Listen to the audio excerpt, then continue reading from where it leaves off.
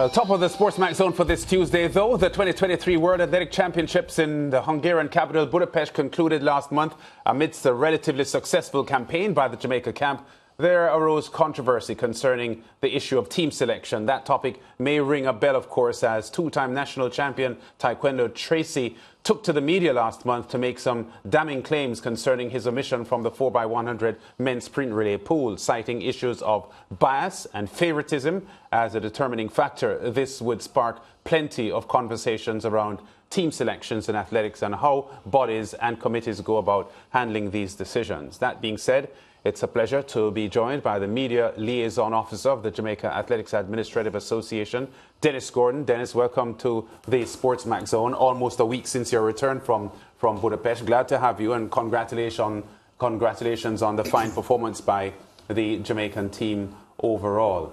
But the issue, as you just heard, um, goes beyond what happened on the track and some disturbing news coming from the sprinter Tyquendo Tracey and uh, what he had to say about the relay pool. Let's uh, start here. He was fifth at the national championship, and he's complaining that a player, a, a, a competitor who had finished behind him and who wasn't on the team when the initial squad was selected was placed in the relay pool ahead of him. What's your response to that? Good evening to your viewers he was a little bit premature in, in, in my mind, and he went out early and he ran out of the zone, meaning where he laid the accusation, there's no responsibility there at all.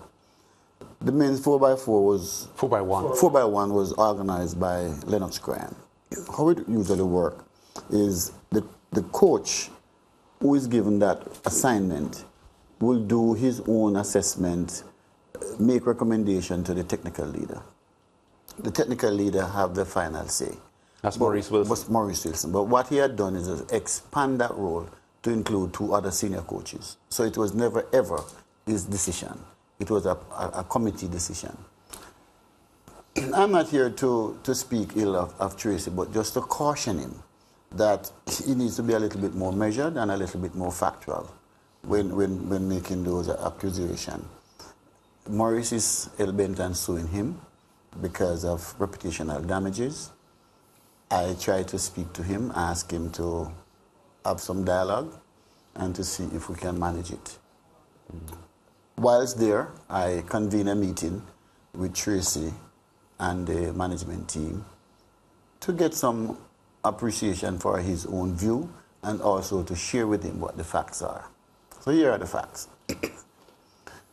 The first three past the post, as is the J3 selection criteria, are mandated by World Athletics that they must be in the pool. The relay so, pool, yes. The relay pool. So you have to submit minimum six, right? And they insist that the first three pass the pool. However, based on the letter of the selection criteria, it is the discretion of the coaches for the other five, because you can go as much as eight, as is the US it doesn't matter whether you're, you were named originally or not, because we have seen over time, and Leighton would, would recall, that we have used hurdlers, we have used long jumpers to participate in the relay. So you're in a pool, but it doesn't guarantee you a spot to run. As a matter of fact, it even get a little bit more technical. That although you're one, two, three past the post and you're mandated to be in the declare six, you have no um, way to claim. Mm. It is purely under discretion of the, the coaches. Is that satisfactory, though, going forward? Because I think part of what has triggered a lot of the public outcry is the ruling shows that the coaches may not have done something incorrect or outside of the rules. But should the rules or the selection process be a little bit more transparent and a little more decisive so that um, in, in, in a case like this, um, an athlete doesn't appear to have a strong case? Because when he put his video out, to be quite honest, the social, the, the, the social media response and the public response by by what I saw, felt very sympathetic to his cause. And you are here to put the facts on the table because a lot of times the public is misled by things that appear a certain way to them. But Dennis Gordon can now clarify some of the issues because I think you are aware that the, the, the general public is critical of the selection because of what they heard Tracey say. Yes, but let us examine the facts. Yeah. A 65 man team was named at the press conference. There were five additions to that 65. So we actually went with a 70 team. Um, 70 member, 70 member team. Mm -hmm. He is accusing the coach of inviting Golson. So let, us just get to the nitty, mm -hmm. right? Golson finished seventh at the championship. And, and Golson runs for Maurice Wilson's yes, club. Yes, yes, but I want to separate the issue. Well, I don't want to color it in any way. So let me just okay, put yeah. it out there. So he's accusing the technical director of unilaterally bringing in Golson, which is not true. One, he doesn't have the authority. Two, he could not do it on his own. So let's put that aside. He was not the person in charge of the men's 4x1. It was Lennox Graham who was doing the, the men's 4x1. And there are some factors there. But let us look at the four that ran. It is those who finish one, two, three, four. So that's why I started by saying his comment was a little bit premature. the five that Lennox wanted to use, based on seeing them in training, right, was that four plus Golson. At no time he was told that he's not in the pool of six. He assumed because Golson's name was in the six that he would not be in the 6 mm-hmm. I go a little bit further. The team, the confirmed four, was done the night before the event the following day. Which Tracey, was several days ahead of. Tracey was out of the blocks saying all these things prior to that final meeting. What, what do you think triggered the, out, the, the, the, reaction from Tracey, though? Why, why did he get this misconception about how the team was selected? My understanding, and, and this is what I was told by Lennox, that in the first meeting, right, he said that this is the five that I would want to look at. Now, the coach can say that, but that is not final until that final panel review and signed off. Mm. So he perhaps got a little bit upset that he was not in the preferred five at the time. But in no way, shape, or form was he out of the six. So I don't know what would have precipitated his outburst, but those are the facts. Can I ask, in, in, in, after the, the video that Tracey posted on social media that literally went viral, um, what was the reaction like within the camp itself?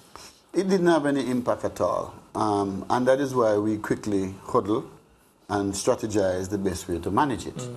And so we called Tracey to a meeting, right? We had discussion with him. We told him what we expected of him, and he said his piece. And it was seamless thereafter.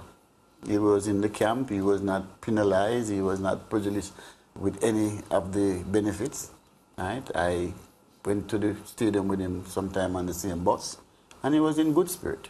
But I think it was more disappointment than, than anything else. He had, yeah, he had been some allegations about, like you just alluded to it a while ago, that he was approached by the security um, and told that he would be, well, on, well, removed, removed from the camp. Was there any truth in no. that allegation? So let, let, let, let, let's just set the record straight. Mm the coach was doing an interview with your competitor, mm.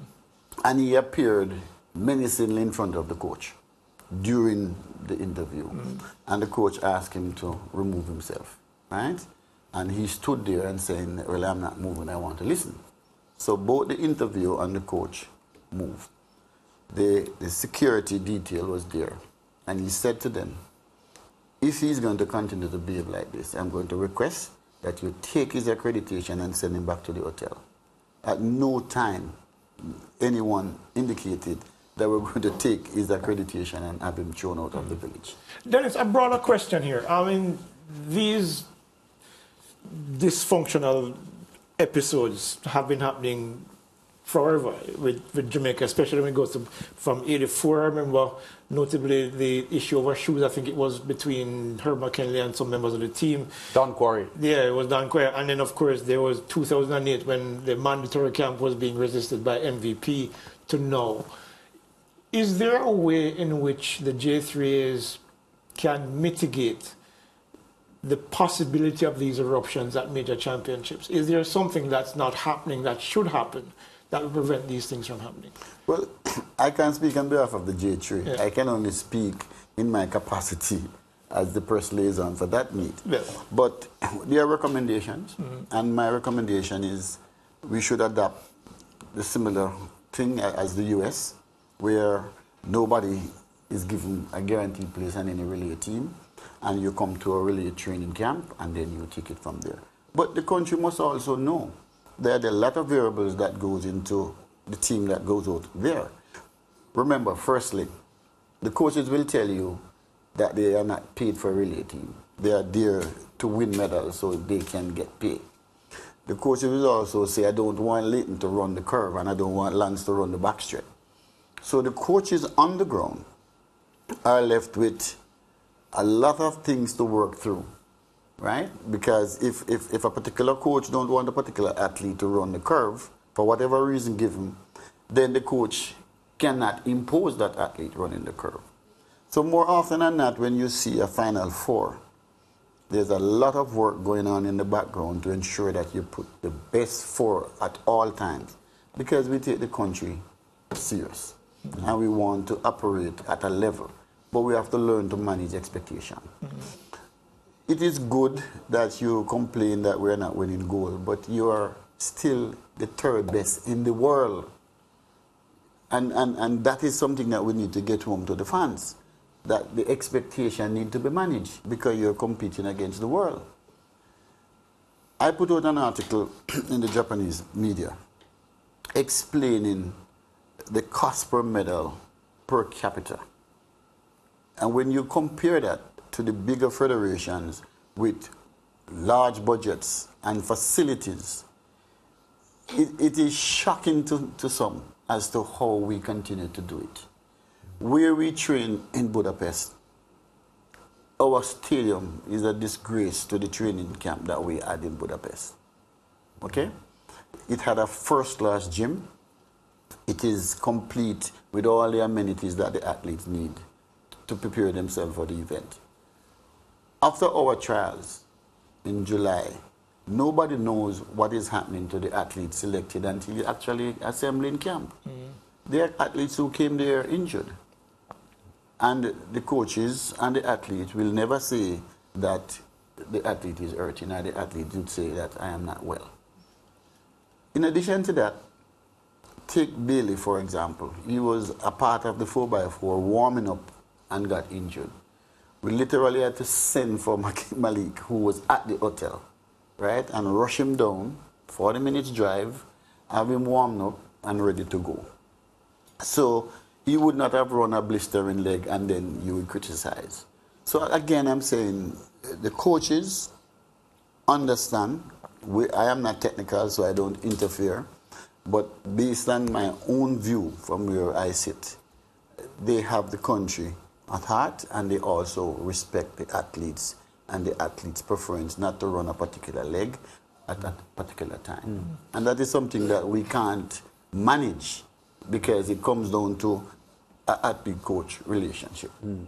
Since you're here, let me ask you this because there was some conflict over Elaine Thompson Herah and her relay final um, appearance because there were reports that she was offered a spot in the four and didn't take it, and I saw that that rebutted um, what really happened there because she was scorching in the prelims and because she ran so well down the backstretch, a lot of people felt that well, Elaine looks as if she's you know back back close to her best, and she would help the Jamaican chances if she runs in the final, and she did not.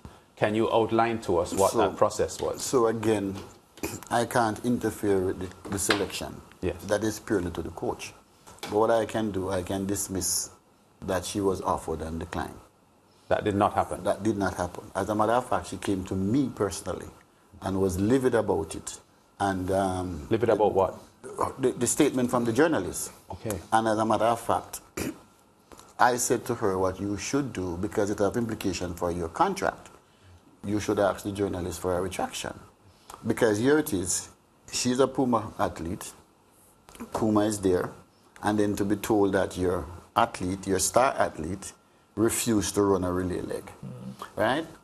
Secondly, there are incentive lines when you win medal or you get to final. Mm-hmm. So the athletes, they are on their job. It will be foolhardy of them to refuse to run when your salary depends on that.